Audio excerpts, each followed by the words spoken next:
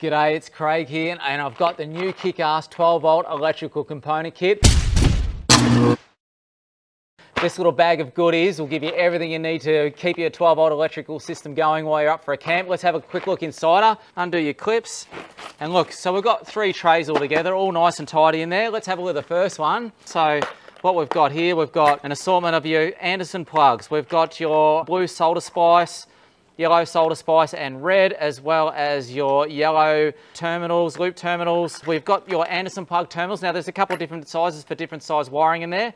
We throw in a couple of rolls of insulation tape, so that is awesome. Look, all in a nice organized tray.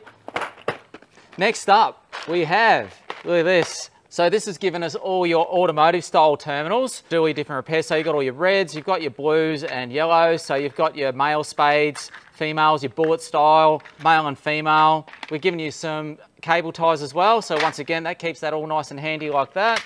Then let's have a look. We've got all our heat shrinks. So have a check out of this. A couple of ring terminals, fuses. I mean, all your bits and pieces in case you do a fuse, all your common fuse styles, your minis, your blade fuses, even got your round glass style fuses, ring terminals, as well as a good range of heat shrink to be able to do all your repairs. Hey, and a uh, couple of stickers as well for you. And obviously, you know, there's a couple of little trays you can add your other bits and pieces as you go along. So how cool is that? And the best thing is it obviously keeps it all nice and organized, but I mean, look how compact it is. It really is not going to take up any room in any sort of camping kit whatsoever. Look at this easy to stow away. Awesome little heavy duty clips on there.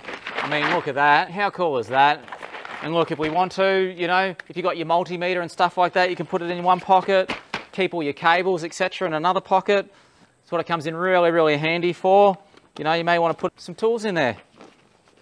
Look at that. All comes in really nice and handy. So head over to the website and check out the Kick-Ass 12 volt electrical component kit with everything you need to do all your electrical repairs. You ripper.